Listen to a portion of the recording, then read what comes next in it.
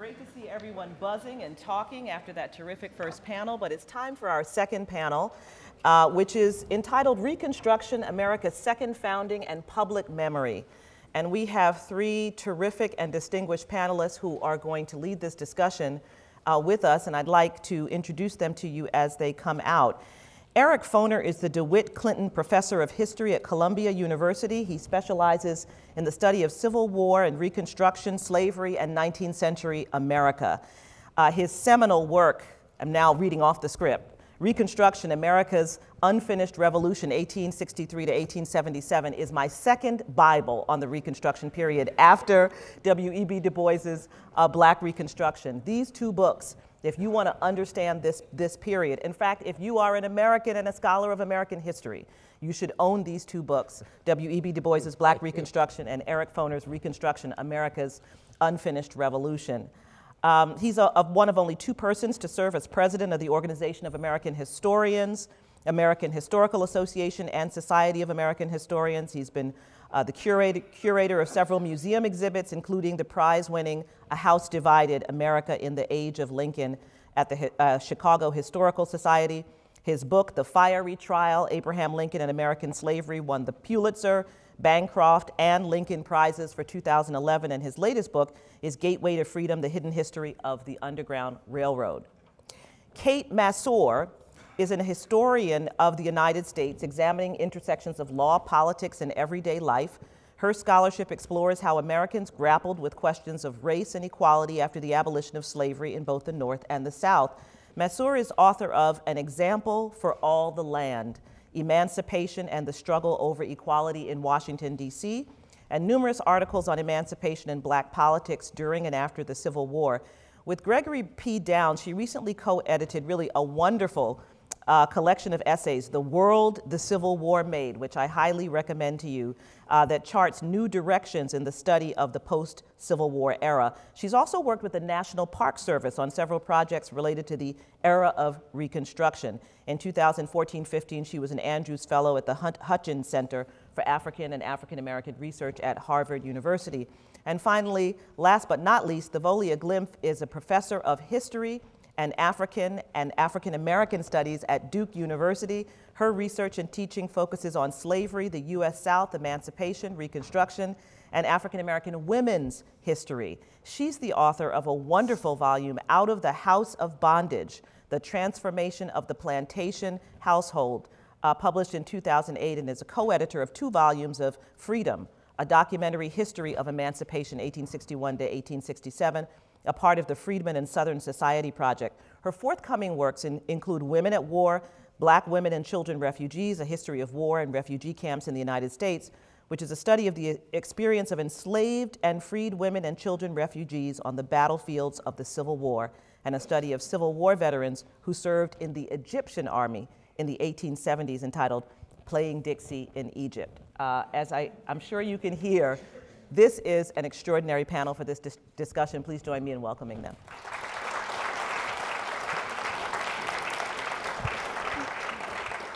So I have to tell you that I am um, fascinated and really riveted by the period that we call Reconstruction, and I could not imagine three better people to have this conversation with.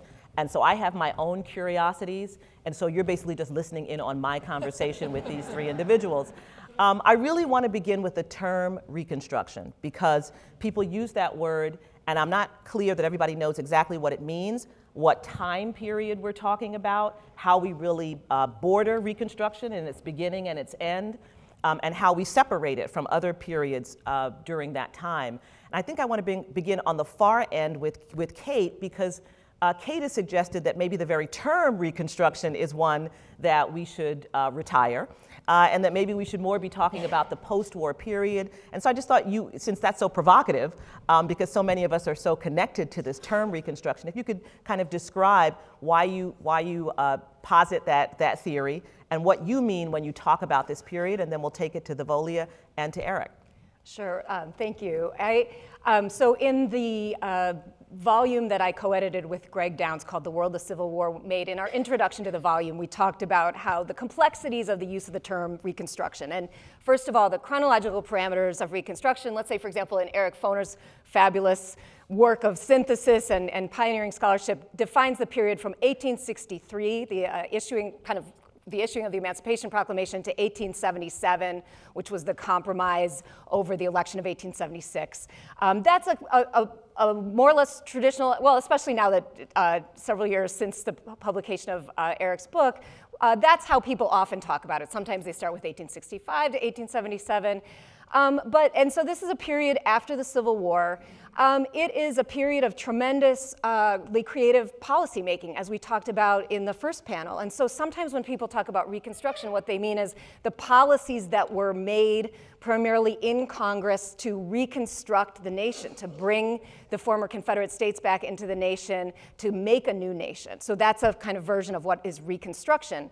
Uh, another kind of broader way of using the term is it's a period in American history. It's a period in which a huge number of things were going on simultaneously. And it's not just about policymaking from Washington, it's about uh, grassroots politics, it's about kind of every kind of debate about what kind of a country will uh, exist post Civil War.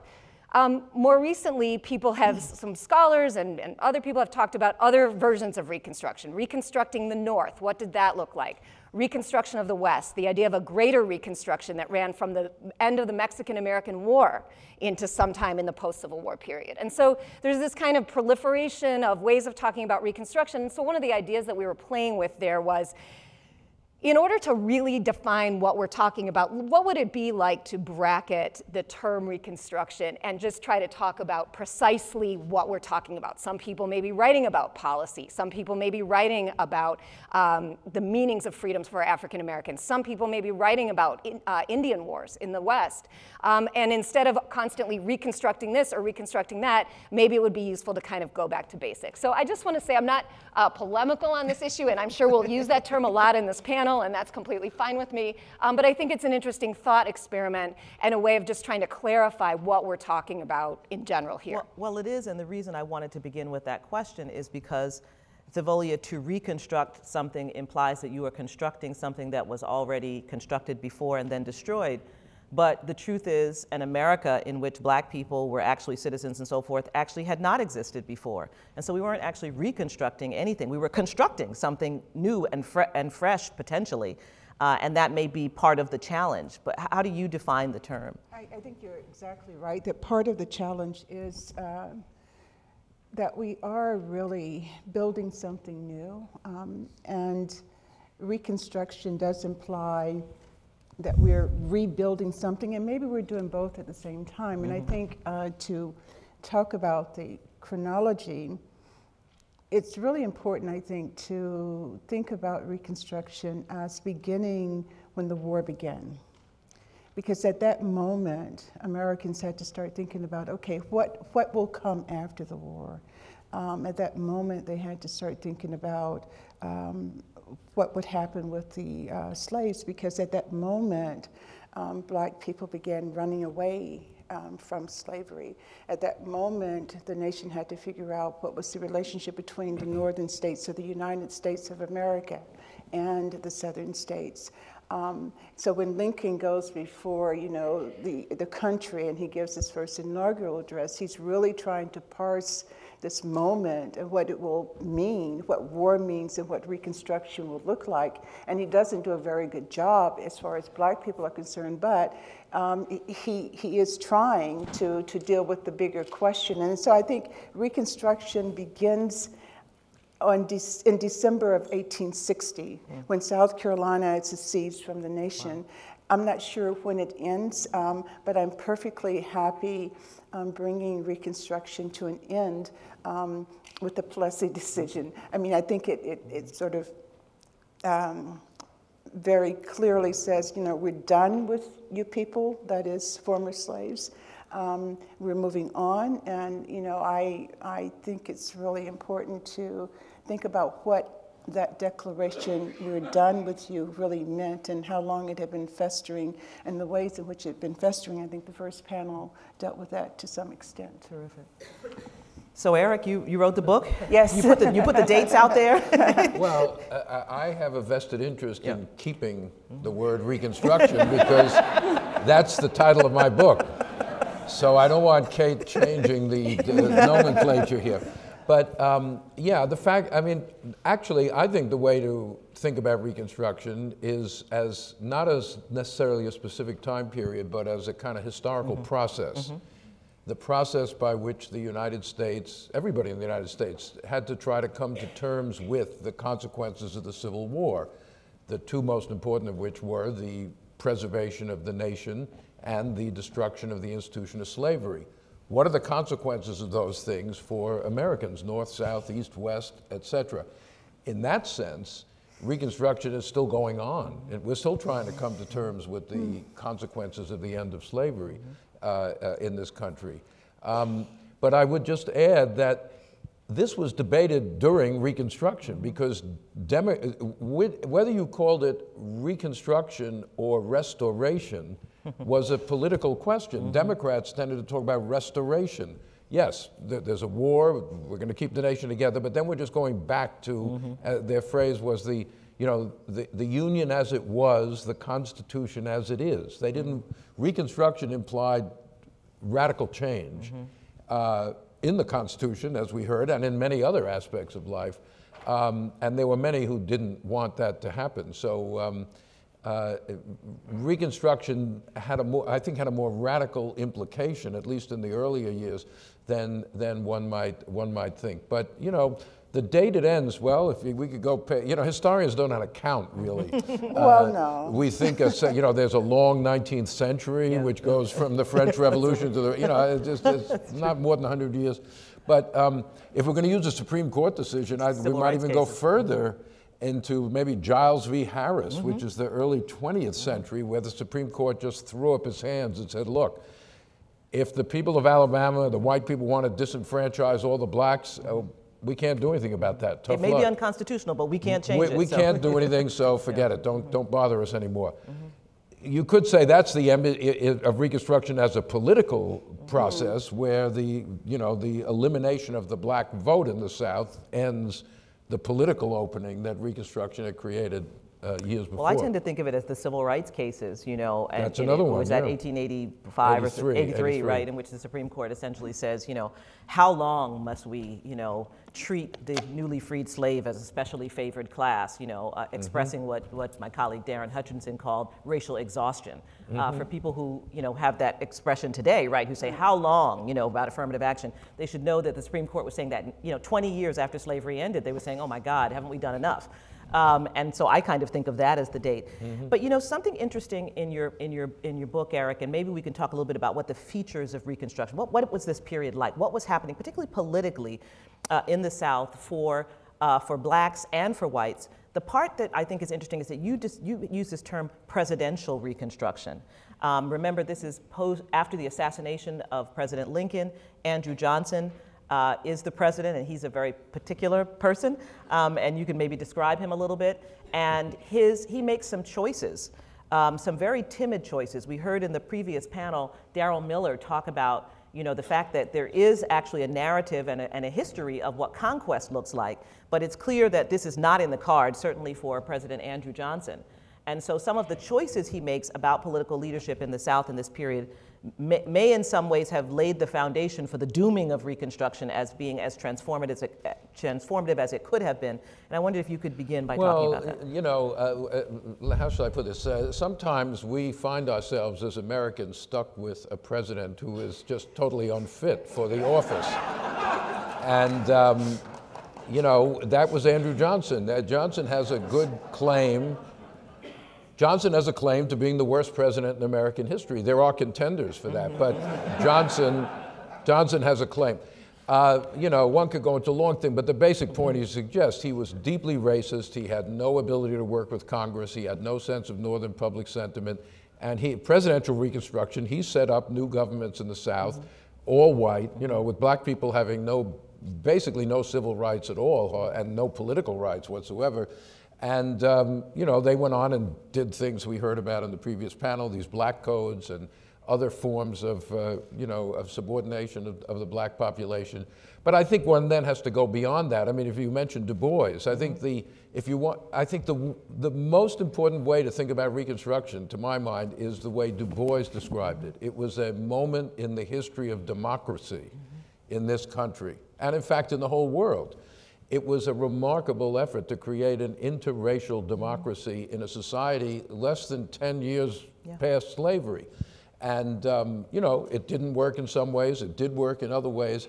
But the very fact that this happened and that you, African Americans began exercising genuine political power uh, was a remarkable thing in the 19th century in the aftermath of slavery and generated a violent reaction. We heard about the Colfax massacre in the pre- previous panel and many, many such uh, incidents in the South. So, you know, politically, Reconstruction was a radical change in the nature of what had been a slave society, you know, until just a few years before Reconstruction was implemented.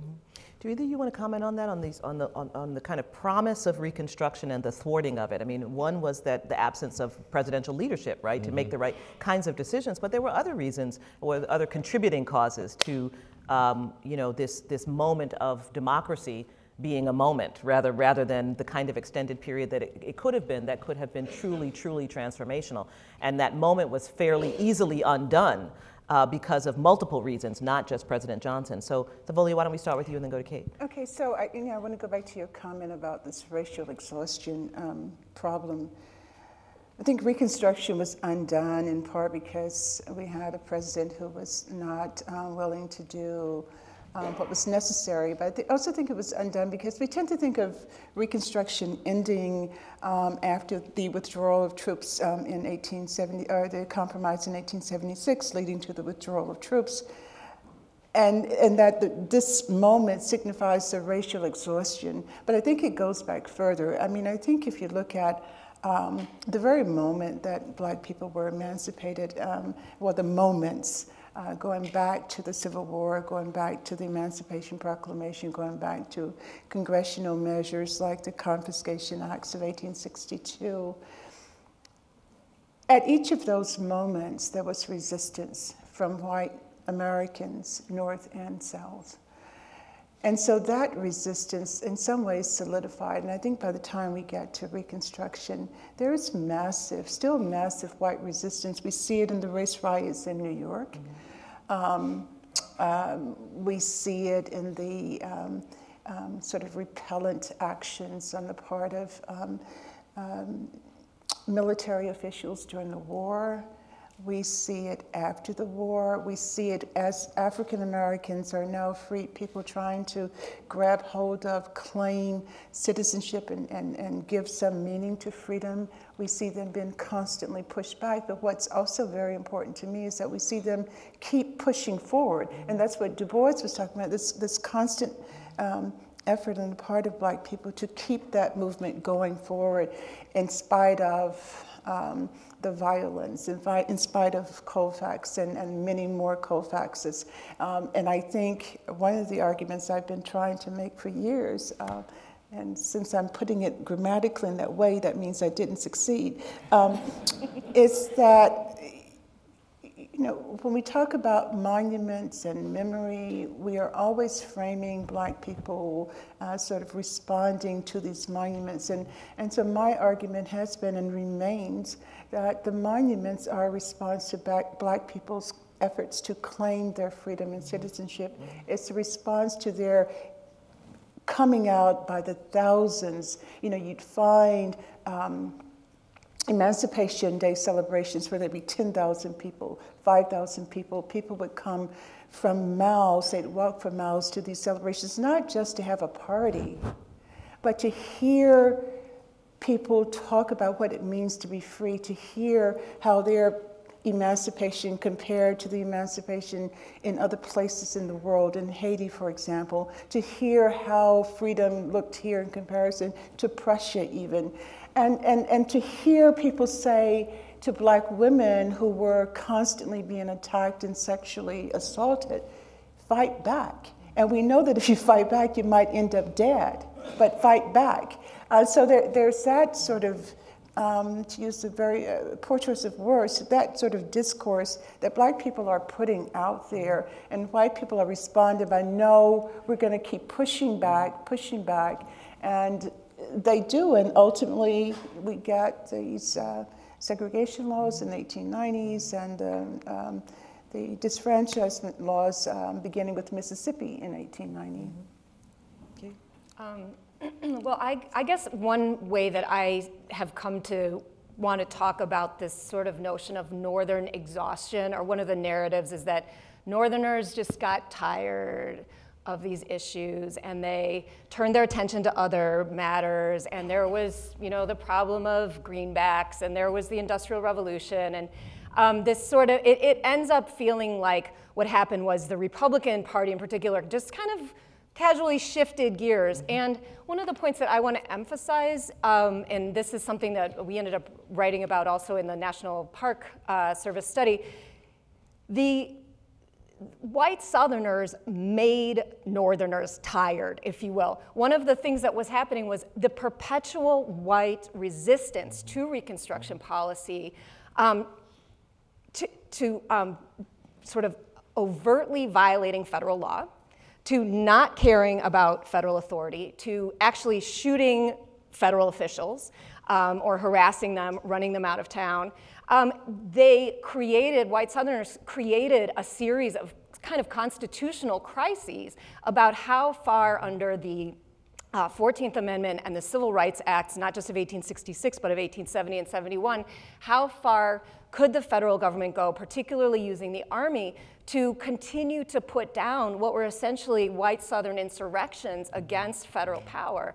And that we can talk about the you know, inadequacies in some respects of Congress's and uh, President Grant at that point's responses, but the, but the kind of continuing assault on federal policy was, uh, you know, it created major dilemmas for these federal officials. If you had had, you know, uh, white Southerners saying, you know, okay, we get it, we understand, this needs to be the policy now, we might not like it, but we're, we're going to comply with it, there wouldn't have been so much exhaustion in the North, right? There would have been more um, kind of ability to continue to enforce these policies. So I just want to also restore some agency to um, white Southerners in this for helping to create that backing off of Reconstruction policy. I want to come to you, but, in, but just because you say that, Kate, and I think it's so important, I want to actually return to what happens in the immediate aftermath of the war, war. Because Eric says in his book that essentially right after the war, the expectation of white Southerners was it's a wrap,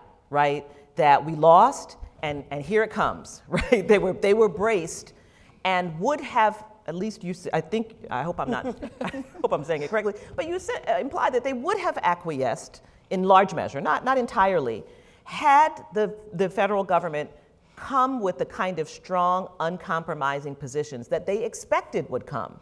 And that in fact, the timidity of the federal government allowed the Southerners to think that there was room for this kind of um, a pushback that you're describing and actually open the door. So I think you're absolutely uh, spot on to, po- point out that agency. But I want to return to this. Am I saying correctly no, what no, your thesis correct. is? Yeah, I mean, and, and, this goes back to Andrew Johnson. Yeah. You, basically, Andrew Johnson told the white South, you don't really have to worry about all this mm-hmm. stuff. Um, yes, the slaves are free. You're not going to have slavery anymore. But other than that, you can do pretty much whatever you want. And instead of, yes, many white Southerners expected what they would have considered harsher or stronger measures from the federal government. This is all in 1865. Mm-hmm. But the other side of that story is Johnson's intransigence and the violence in the white South is in some way the creative dynamic that is pushing Congress further, mm-hmm. Northern Republicans. You wouldn't have had a 14th Amendment mm-hmm. in exactly the form it did without Johnson's intransigence and the mm-hmm. violence in the South. You wouldn't have had a 15th Amendment uh, later on. You wouldn't have had radical mm-hmm. Reconstruction. Mm-hmm. So the very so it's pushing Congress. The very conflict mm-hmm. is pushing people in a more radical direction until eventually they don't go any further in a radical direction for some of the reasons Kate was uh, was suggesting. Uh, the main point, I guess, really, I mean, you're absolutely right, is that this is a dynamic period. It's a period in which people's outlooks are changing all the time. Um, people who in 1865 said, nah, I can't imagine we could give black men the right to vote, two years later are voting to give black men the right to vote. People who said, well, you know, we can't really deal with private discrimination. Then they go and vote a few years later for a bill banning discrimination by hotels and railroads and things like that. So um, you can't freeze this process at any moment, and you can't freeze people's ideas. One of the problems with trying to figure out, let's say, well, what was the intent at that mm-hmm. time? Well, the intent keeps changing mm-hmm. all through the period as events, uh, you know, take unexpected courses. So um, you have to look at the period whole. You can't mm-hmm. say 1865, 1867, 1873. It's a long, complicated, dynamic process. Thavolia, I want to go back to this issue of what, of what African Americans are doing in this period, um, because this is also, just to me, a very, very uh, powerful story, because African Americans are living in these communities with the kind of violent pushback that you're talking about. They're still showing up to vote. They're still trying to be postmasters. They're still uh, being Secretary of States. They're, they're still trying to be magistrates. They're still being the police force. They're still, they're still pushing and pushing and pushing and pushing to have this full citizenship despite this, uh, the, the threat of, of, of, where, of how they're living. And so I want to talk a little bit about that, about that political push. I also want to talk about the economic piece and what's happening during this period, right? So now we're in this post-war period. What, what happens to, to black people in terms of their economic possibilities um, you know, what, what, what, happens to the 40 acres and a mule? What's the, you know, what's the situation in terms of land? And given what we know about the black codes, which I think um, Darrell Miller described as, you know, supporting a kind of cartel uh, for black exploitation, which I think is a perfect way to describe it, um, how are black people managing their way through this kind of uh, economic stronghold that really is in every form seeking to return them to, to, to slavery in some form or another? So I'll start with you, Okay, so I mean, I, I really uh, appreciate your getting to the economic question. I want to start there because when we consider that when the war ended, um, the South was broke, right? um, emancipation had liquidated um, the bulk of its wealth by emancipating enslaved people. Um, so the war ends. Um, it's April 1865. It's the time of the year when normally you would be beginning to plant your cotton crop. Um, and who's going to plant it? How are you going to convince former slaves to go back into the fields and at what cost? Um, can you pay them? So it's not only that you have four million ex slaves, you have hundreds of thousands of ex masters, right? Who may still now have land if it hasn't been confiscated, and Johnson will soon give it back That's to right. them. But that they don't have any money. The sources of their wealth, I mean, as I said, it's been liquidated. They're, they're, they're, the paths to getting more money from banks is no longer uh, possible. So all they can do is go to black people and say, look, we've got land, you've got your labor power, let's make a deal. And, and the deal that gets made is often um, uh, confused with what comes later. The deal that gets made is what we call share wages. I can't pay you except in a share of the crop. You work, when the crop comes in, I'll sell the crop and I'll give you a share, a quarter, an eighth, whatever the deal is. The later thing that a lot of people talk about is sharecropping, which is a very different system. It's just a system basically of renting. Um, and you have to put something in. If you're a black sharecropper, you're saying to the owner of the land, look, I've got something to put in. I've got five kids and I can put their labor in. Um, I can find a way to feed myself. My wife can grow some food or whatever. So you're, you're, it's a more of a, um, a relationship where you have more, more, more say so. But in 1865, it's really kind of up in the air. People are trying to make deals, and in the midst of trying to make those deals, you get, as Darrell referred to earlier, these um, codes where Mississippi says, well, black people, you can't own any land outside of an incorporated area. Well, what crap? That means that you can't own farmland, right? So we're not going to let you be farmers, um, even if you want to. But at the same time, you have people who do find ways to grab hold of a few acres. You know, in, in the South Carolina Low Country, you know, my part of the world, born and raised in South Carolina, people are fighting to, to hold on to the Sherman lands. They're fighting to hold on to lands that they claimed um, that they bought from the Treasury Department. So it's a very dynamic situation. And in some places, people do buy land. And so in the 20th century, we have a number of black landowners. And when you think about the recent suits against the, um, the agricultural department by black, farmers. That, th- those suits have a history, right? Going back to um, the post-war era. So in terms of working and, and, black people had did not have much choice. Black women, um, for the most part, were, were accused of wanting to become like white women and going into the house and not working at all, when in fact they were working in the fields and working in white homes at the same time. But they had decided that if they worked for white women, they would no longer do so in white homes if they could help it. So they would go and say, Look, you know, you want me to do your laundry? Give it to me. I'll take it to my house and wash it. Um, I'll come and clean your house from this hour to that hour, but I won't stay overnight.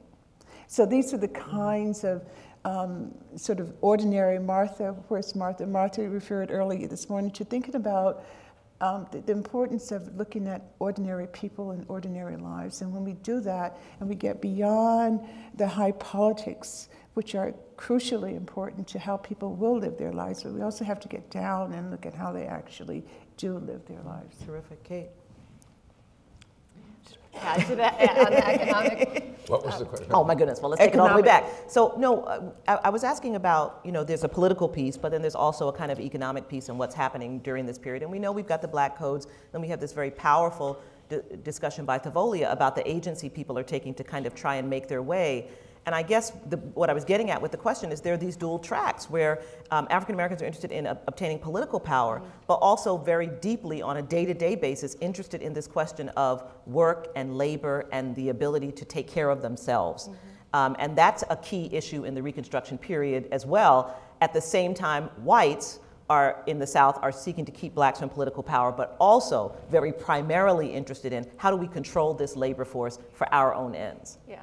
I mean, absolutely. And I think sometimes when people, I think about teaching this material and uh, to undergraduates in particular, and, and sometimes people forget about the fact that slavery itself was a labor system, right? And so the entire system that was being upended at this point was founded in how uh, planters, people with land, were going to make money off their land growing certain kinds of staple crops. And um, plantations had particular kinds of forms. Um, they required particular kinds of labor that over the course of the earlier parts of American history, event, you know, ultimately uh, people who owned a lot of land in the South began to increasingly and over time, you know, almost uh, in a majority used enslaved workers to work that land. And so the magnitude of the upheaval when you think about emancipation, I mean, as Thavolia said, I mean, first of all, just to imagine the liquidation of that amount of capital that people had tied up, that owners had tied up in their enslaved workers who were also used as capital. They were used as collateral for mm-hmm. loans. Mm-hmm. They would be mortgaged. So this was enslaved people, the, the, the, the property and persons was a major engine of the Southern economy that kind of upheld a system of credit and debt that made everything work. And so you have the sort of liquidation of this form of property from the perspective of the slave owners, and then you have people who are becoming free who are saying, okay, you know, we need, we want to uh, live, we want to survive, uh, and we need to figure out a way to do that in the midst of uh, this system that has, you know, decades and decades in the making. And I think one of the things that's important also to think about is uh, sometimes people wonder why did uh, freed people stay, tend to stay where they were as opposed to just leaving. And when people are familiar increasingly with the history of the Great Migration in the kind of early 20th century, um, first of all, there is a lot of migration in the post-Civil War South of African Americans moving to different places, trying to find better lives, but also keeping in mind that leaving where you were required resources. Um, you, there were trains, uh, boats in the South. You could, you could go places if you wanted, which was absolutely not true during slavery. Um, but you had to have you know, enough money. Or if you wanted to move and become a farmer, let's say you wanted to move to Kansas or Oklahoma, you had to have tools, you had to have a farm animal. And these very kind of everyday forms of personal property were also very hard to come by in the post emancipation South for freed people. And so um, the, the, the kind of economic system that's primarily rural, that is just in the kind of wake of slavery is something that we, it's sometimes hard for us to wrap our minds around that, but it is very kind of important to put ourselves back and try to imagine what that would have been like. Well, there's so many stories here that we can't really pull the thread, you know, on. I mean, you, even just talking about what that movement is like. There are many, there are many newly freed slaves who, who are moving, and one of the reasons that they're moving is that they're looking for their family members. So there's a whole story to be told about the effort of newly freed slaves um, and the and the the effort of, of so many of them to try to reconnect with children who were yeah. sold, with spouses who were sold, with mothers and fathers. And so there is a kind of a, an effort to do that dynamic movement. But as you talk about, it requires resources, it requires knowing where to go and where you are, right? If you have been raised on this one plantation for your entire life, your sense of the world and uh, geographically is severely limited. And then, of course, the threat of violence. And it would be, we would be remiss if we didn't talk about the role of violence in the Reconstruction period, which is so important. Uh, violence as a means of um, uh, ensuring that Reconstruction does not fulfill its promise. Um, and, and you talked about this already, Kate, with, with you know, thinking about the pushback against you know, the, the violence against federal officials. To be a postmaster was to really take your life in your hands as a, as a black person during this period. Um, and I think it's important to just touch briefly on the role of violence. And then I want to pivot to what's already been alluded to, and that's a little bit about what happens in reconstructing the story um, in the post recon in the Reconstruction and post Reconstruction period of what slavery really was, the whole lost cause idea, and the and the, the monument issue that we've been talking about, you know, in, in our contemporary uh, debates that really emanates from what do you do when something when an event like this happens, when you have a massive, large-scale human rights violation happening in terms of slavery, deeply connected to the economy, deeply connected to a political system, and then it's reversed. How do you account for that? in this new nation. And it seems to me this is the project that gets um, distorted. So maybe, um, Eric, we could begin with you just talking a little bit about the violence and the role of violence in Reconstruction, and then we can kind of move on well, to. Well, yeah, I mean, violence was pervasive in, in, in the Reconstruction period, and uh, as Kate pointed out, and others, it, it played a very important role in. Uh,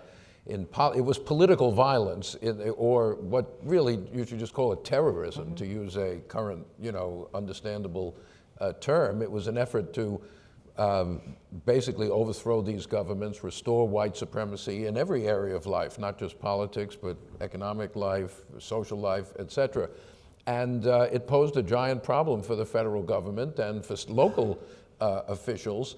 Uh, in some places, on some occasions, uh, violence was uh, effectively suppressed. President Grant sent the tr troops into South Carolina in 1871 and crushed the Ku Klux Klan. Uh, but as, when it revived again a few years later in the Deep South, uh, the federal government was not willing to continue the, the kind of exhaustion Kate mentioned because of the constant um, sort of uh, counter-revolutionary violence in the South. So yeah, you can't understand uh, what happens in Reconstruction without also talking about the you know, violent reaction against it, which is a sign or an indication of how radical the changes were, that those changes stimulated such a violent, um, a violent reaction. And of course, extra-legal violence doesn't end with the end of Reconstruction. Lynching, you know, three or 4,000 people were lynched in the South uh, from around 1880 to the 1950s, et cetera. Um, so, you know, violence remains an important part of the Jim Crow system, which comes into play after Reconstruction is over.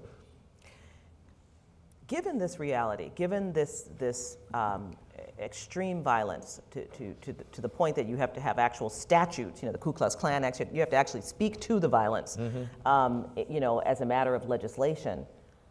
What is the investment of Northerners in adopting a story about what the Confederacy was about that, um, that, that gives it some kind of nobility, right? And, and we were talking about this a little bit in the corridor, right? That when we talk about the, the lost cause and we talk about the you know, later period in which monuments were created and so forth, this is not just about Southerners describing the story of who they were in this war in a noble way.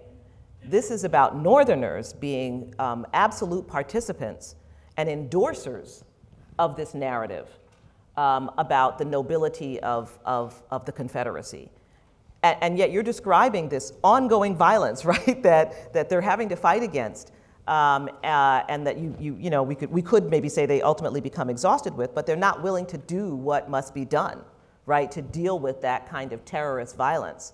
What's their investment in this narrative, this untrue narrative? Who- Anybody, anybody can. So, you know, I think, first of all, um, and I, and so Kate and I kind of know we kind of disagree about this a little bit. When we say northern um, exhaustion, I'm talking about northern exhaustion with black people. I'm not talking about northern exhaustion with southern whites. They're not exhausted with them. Um, so when um, Southerners began um, become even more violent because slavery is violent in the war in itself. Northerners push back a little bit, you know, with their um, force acts. Um, Grant sends troops to South Carolina, but not too much. And so this is one of the really interesting kind of uh, historical uh, uh, stories where a nation goes to war against people who are committing treason, right?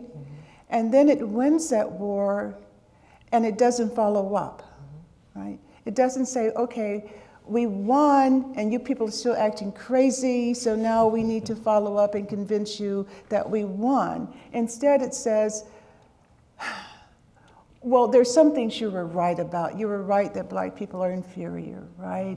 And so we grant you that. And, and so then, Lee, to get to the other part of your comment, your question, uh, Robert E. Lee becomes not a, um, heroic Confederate soldier, but a heroic American soldier. Um, reunion becomes um, not just a political reunion of North and South, but a kind of reunion that speaks to white supremacy, that, that puts white supremacy on a pedestal. Only this can explain why we're willing to take state and federal monies to um, rebury the Confederate dead, to help build monuments to the Confederate dead, to make Gettysburg not just a northern cemetery, but a national cemetery. So there are all kinds of decisions that are made in this moment that, that suggest, at least to me, that the, the pushback on the part of the North you know, it's there in the, in the amendments, the 13th, 14th, it's there in the force bill, but it's not sufficiently there to say that this revolution, this revolt on the part of Southern whites has to be crushed, and it has to, we have to go back. Um, we have to go back. Instead, it says, well, we'll take out the troops that we have in 1877. So I think it's really important to make that kind of distinction. I think that's really powerful and important. I mean, I think even before, correct me if I'm wrong, but almost immediately after the war, when there were southern jurisdictions that said, well, we just can't have black troops, and the decision to say, okay, we'll accommodate that. I mean, the accommodation begins almost immediately. And I, and- Exactly. yeah.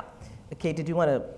Um, no, I mean, I don't, and I, I don't disagree with that. I, I guess I, um, one thing though, I mean, in terms of northern white people really accepting the lost cause idea that was kind of generated in the South as a defense of the Confederacy, I think some scholarship has shown that uh, veterans of the United States military from the Civil War held on to the idea that this war had been, you know, sort of their version of this was a good war. We fought a bad enemy. Uh, we don't want to see a lot of concessions to, you know, their cause was good, our cause was good. We're all brothers now. They, and so part of the dynamic is if you, if, and this is, you know, other historians who have looked at like the uh, Grand Army of the Republic chapters, this Veterans Association of uh, U.S. Civil War veterans, um, is that when they died, when their generation died out too, I mean, and also let's just add that they didn't have, they were one group of people. They, they weren't necessarily in control of what Northerners were doing, what Congress was doing. But certainly when they passed from the scene by, let's say, you know, kind of the 1890s and early 20th century, that was a really important moment for, um, among, again, among white people, not among black people, but among white people, a kind of uh, the fading out of whites willing to defend uh, what many people believed the Civil War had become, which was in part a war to abolish slavery and set the nation on a new course toward equality. And I mean, and African Americans, as, as we've talked about, as Thavolia has said, you know, also continued the memory, as David Blight has written, you know, continued the memory of the Civil War as being that war um, for emancipation, for a new nation founded on a new footing that remedied some of the problems of the original nation that was forged in slavery. Um, that, that never went away. Uh, it was just that it was uh, abandoned by white Americans for a very long time. And you know that it's powerful because I'm going to come to you, Eric, because of the when you when you look at these, I'm always uh, quite moved by looking at these monuments that were created mostly in the first half of the 20th century. Uh, to a war that happened in the century before, to lift up the Confederacy. The, the size, the heaviness, the height, uh, there, there is, there is uh, it, just in the very physicality, an attempt to impose a narrative, right? to, to counter the, the narrative of reality that, as you say, never went away and the African Americans are, are, are pushing forth. Um, and so there is a feeling, when I see them, there is a feeling of, of a, a, response to, and a very powerful and attempt to be overwhelming response to another narrative. Eric, what did you want to say about this? Well, I was going to say what uh, you, everyone here knows that history does matter, mm-hmm. actually, how people think about history. The mythology of Reconstruction, which I think Professor Guelzo mentioned in the first uh, panel, uh, that it was a period just of corruption, mm-hmm. misgovernment, mm-hmm. that giving the right to vote to blacks was a terrible error, was not just a historical interpretation but it was part of the intellectual legitimation of the Jim Crow system. In other words, it had very clear lessons. It was a mistake to give black men the right to vote. Therefore, we were right to take away that right to vote. And if you give it back again, you'll have another, all the horrors of Reconstruction again. Um, Reconstruction was imposed on the South by Northerners. They don't understand race relations. Show, the horrors of Reconstruction show you that. Therefore, the white South should resist any outside pressures for change, which began to build up in the 1930s, 1940s, um, et cetera. And even the Supreme Court, of course, this is the problem with Supreme Court jurisprudence uh, on this matter. It's that it's based on history. It's, a, it's based on precedent. You had bad decision after bad decision, sometimes based on a misreading of the, of the history. But that's still good law. Very few of those cases that we heard about in the first panel have actually been overturned by the, the Supreme Court has never been willing to get up and say, we blew it, folks. Mm-hmm. We actually blew it, when it, and let's start again. You can't start again. Mm-hmm. There's all that weight of history still there. And so what people think about the history of this period actually has very practical consequences, not just um, you know, as an academic matter. Yeah, and I'd say, you know, for me, that I'll, I'll, I'll, just step out of my attempt to be a very neutral moderator at this moment. But, you know, as a, as a civil rights litigator, when you look at uh, some of the cases that we litigate, particularly in the voter su suppression space, um, in which not, not we, but federal judges are saying that, you know, whole legislatures of states like Texas and North Carolina convened and passed voter suppression laws for the purpose of discriminating against African American voters. That's, that's two decisions by two federal courts mm -hmm. um, in just the last five years. And you compare that to the Supreme Court's decision in the Shelby County case in 2013, in which essentially the Supreme Court is saying is, you know, you are kind of impugning the, the mm-hmm. honor and the nobility of the South, and you're branding them with this terrible history, and you know, and, and it's unfair to them. Uh, it, it, it, feels, it sounds uh, in my litigation spirit very similar to what you're describing, in which you know the court also gets invested in a narrative mm-hmm. um, about about what is happening today, even when that narrative is counter to the facts, counter to what we've been able to prove at trial, counter to what federal judges have found. And so this is dangerous. Yeah. The, the, the adoption of false narratives uh, in this space is really, really dangerous to the, fulfilling the promise of the 14th Amendment, which is full citizenship uh, for African Americans. I'm going to go to questions from the audience. We have some good ones. Um, we, have a, we have multiple questions on, uh, on this subject, which I think everyone wonders. Do you think Reconstruction might have gone better uh, had Lincoln still been president, not been assassinated? Kate, I'll take it down there and we'll bring it back. well, I, uh, I think that's a, that's a fantasy that a lot of people have. And I was recently thinking about this a lot because I was writing something about the movie Lincoln, Spielberg's Lincoln. And that there really is a fantasy in that movie. If you look closely, it doesn't hit you over the head, but there is a fantasy in that movie that if Lincoln had lived, things would have turned out better. And you have a couple of scenes where uh, Lincoln says to Grant in this movie, you know, don't be too hard on that, them, meaning the, the white South. Um, and you have a th- scene with Thaddeus Stevens where he's kind of maniacal, whereas Lincoln is the moderate force. And so I think overall the movie has this fantasy that if that part of the tragedy of Lincoln's assassination was that Reconstruction would have gone better, which also sort of implies in this narrative that kind of race relations would have been better, that Lincoln would have solved all of like our collective problems with that. And I think that's, I mean, obviously not the case. Um, I think it's, it, and, and obvious, historians also generally don't like counterfactuals, and you know, it's hard to, we can't say what would have happened, but um, Andrew Johnson was a totally inept president. I mean, he was not only a, a horrible racist, but he was also very bad a, as a politician. And he couldn't understand what was going on in Congress. As Eric said, he couldn't understand the kind of northern public opinion. Lincoln was obviously a very skilled politician. Lincoln might, as Eric's book on Lincoln sort of shows, Lincoln consistently over the course of his political career kind of moved to what we would consider the left when pushed by uh, African Americans, when pushed by Republicans who were more progressive than he was. So it's possible, it's likely that Lincoln would have been a much more astute politician than Andrew Johnson, and it's quite possible that he would have worked much more, uh, much better with Congress. Although on the other hand, he was already at odds with Congress over Reconstruction policy when he was assassinated.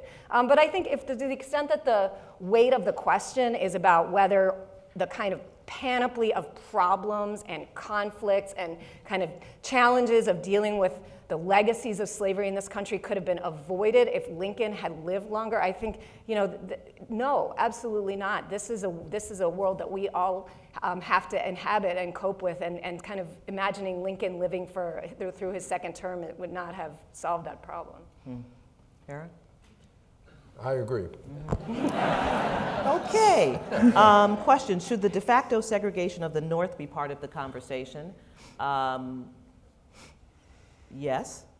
Uh, yes. Uh, absolutely. And I'm going to hold my comment. I'll, anyone on the panel want no, to comment Of course it yeah. should. and one of the problems, and you know, or let us put it this one of the virtues of the kind of rethinking of Reconstruction Kate mentioned a while ago is yes, you have to bring the North into this, not only as policymakers, but in terms, the North at least acquiesced in the race system in the South, and more than that, it actually was complicitous in it.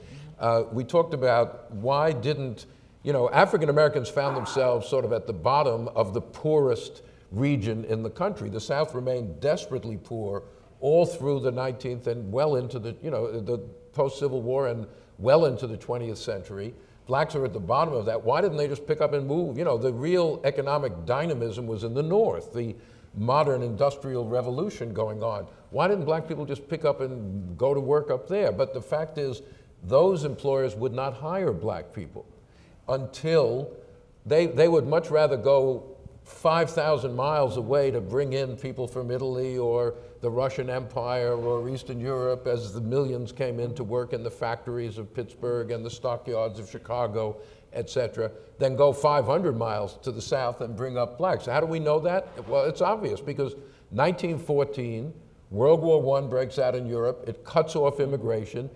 Then the Great Migration begins. Then jobs open up in the north at the bottom of the industrial ladder, but still much better than you can do. And then you get a massive migration of African Americans uh, from the south to the north. But for many, many years, they're kind of trapped. They can't get out of the south except in fairly small numbers until jobs open up uh, in the north. But by then, they're moving into, you know, fundamentally segregated communities in, in Chicago, Pittsburgh, Detroit, et cetera, et cetera. And you know, so that's all part of this story of why you pick up any newspaper today and you'll discover the vast disparities that still exist in social, you know, uh, statistics, economic statistics between black and white Americans. And it's all rooted, it's not just rooted in slavery, it's rooted in the continuation of racial inequality long after slavery was gone. And if you really want to learn more about this, then I want to commend to you um, a book that was published last year. It was shortlisted, longlisted for the National Book Award uh, and it's um, uh, uh, Richard Rothstein's The Color of Law. Right. And it is about the role of the federal government in segregating the American North uh, in the 20th century. Very, very important to, to marry to this period. I don't know if anyone else wants to comment on that. Yeah, did you want No, to say? Okay. So Eric Foner said that Reconstruction worked in some ways. In what ways did it work in the former Confeder- Confederacy? Well, Eric, I'm- it, it, I mean, this, no, all right, you go ahead. No, you I- said it, so you. I don't. you know, we always talk about Reconstruction as a failure, which is, I think, not actually the best way to look Actually, at it. Actually, we I'm- don't. Who talks about it that way? Well, like on exam questions, midterm exams. yeah, why did Well, Reconstruction uh, the reason, fail? the reason I'm interrupting you is because there is a narrative about Reconstruction that I can tell you is in the, in the African American community that is actually very proud. Good, that, that good, really that should be. focuses on all of the African American elected officials, Yeah. how many African American men were registered to vote in that period. Uh, we think that actually many Americans don't know that African Americans were, you know, elected as secretaries course. of state, lieutenant governors There's no in southern states to that. because there's no monuments. Like exactly. there are to the Confederate Exactly. generals. So no, no, no, that is, it didn't last. In other words, that, Yes. that is a moment It to failed, be very right. proud of. Okay. Mm-hmm. It failed to become a permanent feature of the society. But you know, many accomplished. Apart from that, you know, the, the black church as Mm-hmm. it exists today really comes out of Reconstruction. It had existed beforehand, but as a massive institution in the black community. Black families, as you said, Mm-hmm. were reconstituted who had been separated uh, under slavery. Black uh, uh, schooling, black public schools, uh, higher education comes out of Reconstruction. And these are the springboards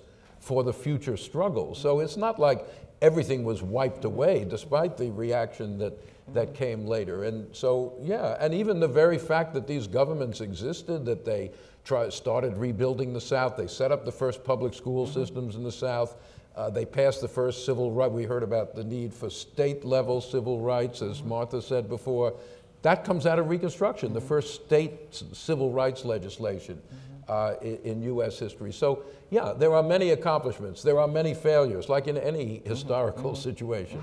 Let me use this question to, because we haven't used the words Freedmen's Bureau, and we've been supposed to be talking about Reconstruction, so we have to. Um, and so um, I wonder if uh, Thavolia, you or Kate could talk about what you think is maybe the most, you know, one or two of the most positive things to come out of the Reconstruction period, some of which, you know, still, still last to this day. Well, I mean, the Freedmen's Bureau, um, certainly important on the ground. Um, important um, for helping people to find their families. Um, important for helping to negotiate contracts, even though most of the sub-assistant commissioners uh, uh, were more inclined to say to people, look, don't expect to get rich, don't expect to eat more food, um, you know, your rations will probably be the same. You know, you're free now, and one day all that stuff will come. But still, it's important. But also, you know, the point I also want to make here about the Bureau is that the history of the Bureau has been uh, given to us as a kind of uh, a, a burden on the American taxpayer. You know, so this federal bureau is set up and has a commissioner, Oliver Howard, for whom Howard University is named. It has the state uh, sub commissioners and then the sub sub assistant commissioners. And they're all on the ground working to help black people make the transition from slavery to freedom. And so, one thing I want to say about that is that the money for the Freedmen's Bureau, um, in part, comes from the labor of black people during the Civil War. That what we don't talk about is that um, when people became free and the government sent them to work on plantations, they were paid a wage and they were taxed. And the taxes went into something called the Freedmen's Fund. The Freedmen's Fund funded the Bureau in part, and it funded several black colleges. So that's a part of the story about Reconstruction that we don't tell that is, um, if told in that way, would be seen as a, an accomplishment on the part of black people that we actually, or they actually, uh, played a role in funding this organization that helped so many. Um, and there are lots of bad stories one could tell about the Bureau as well. What do you think was the one of the accomplishments of, of Reconstruction that you think was long lasting? Well, I think I'll, I'll say what seems kind of obvious in this context, which is the three constitutional amendments, mm-hmm. right? I mean, so the 13th, 14th, and 15th Amendments, which uh, were complicated, which were not immediately realized, um, but which really had the potential to transform the structure of American government and the ways that we understand individual rights and equality. And, um, you know, the, um, the earlier panel, you know, did a great job of, of, sort of talking about that, but I think, and you, you said this in your introduction, I mean, I want to really, it's really important, and I, and I hope maybe the two panels together can do this, is to contextualize the 14th Amendment in the history of Reconstruction so that, um, you know, it's often we can think about it, especially if we're thinking about constitutional law or in the abstract, as just another tool or another, you know, amendment, another thing that you can sort of work through legally, but that this is a product of this era along with the 13th and the 15th Amendments. And when you think about how they really transformed federalism, uh, or let's say they, they had the potential to, uh, really transform federalism. And I like to uh, make sure to underscore um, the enforcement clauses mm-hmm. of each of those amendments. That, you know, the fifth section of the 14th Amendment is Congress has the power to enforce this amendment, and the 13th Amendment has a similar one, and so does the 15th. And that is part of what signals the transformation that before the Civil War, even if Congress, which it never did, had wanted to end slavery in the states where it already existed or enforce the rights of African Americans or anybody else in the states, uh, it would not have had most people thought, the constitutional power to intervene in the states in that way. And so these amendments really transformed the role of the federal government and they really made it possible to have an idea of um, individual rights that could be enforced or kind of backstopped by the federal government if, a, if the person in the local area was not having um, their rights respected. So it really kind of had the potential to redefine um, you know, just about everything um, that, mm-hmm. that kind of goes on in this country. So Kate has ended precisely where I wanted to end, as though planned, um, because I, I, do think this is important. We knew that this panel could not take in everything. There are so many more things to talk about. We haven't talked about um, you know, the, the failure of, of, of, of, women's suffrage and including black women, you know, in ter- in, on the very terms of the, of the 14th Amendment. We haven't talked about the, the effort of, of uh, uh, emancipated blacks to try and get a, a, a, pension, you know, to just try and get money so that they could bury uh, their dead and to try and get money so that they could uh, give old age pensions to slaves who were physically broken in many ways and who um, you know, could not work anymore. There are many stories to tell during this period, and so I really encourage people to delve into, deeply into what happened during this important period in American democracy. But Kate ended where I wanted to end, which is to say, as a civil rights litigator, that our conception of what the federal government has the power and indeed the obligation to do in the face of challenges to the terms of equal protection of laws and due process of laws comes out of those enforcement clauses of the 14th Amendment and this innovation is how I think of it. This powerful uh, innovation in the 14th Amendment is one of the most important things to come out of uh, the Reconstruction period. And that is to imagine a role in which the federal government has an obligation to protect the citizens against the state. And we should really be clear about that because I think sometimes people pretend that the 13th, 14th, and 15th Amendments are not what they are. It's powerful for an amendment to the Constitution to say no state shall or that the state cannot, right? It, it is directed at the states, directed at the states, and provides for the federal government to have the enforcement power when the state does not comply. And as you look and you read about different challenges, civil rights challenges that you're seeing uh, play out in our contemporary landscape, I invite you all to remember that, that by the explicit terms of these amendments, it was expected that the federal government would play a role in protecting the rights of citizens against infringements by the state. And this innovation is the center of our second founding, which happens after the Civil War and happens during this reconstructive construct, construction period with the passage of the Civil War amendments. And I just could not be more thrilled to have had this conversation with this terrific panel, and please thank them with me for this discussion. Thank you. Okay, thank you. That was great.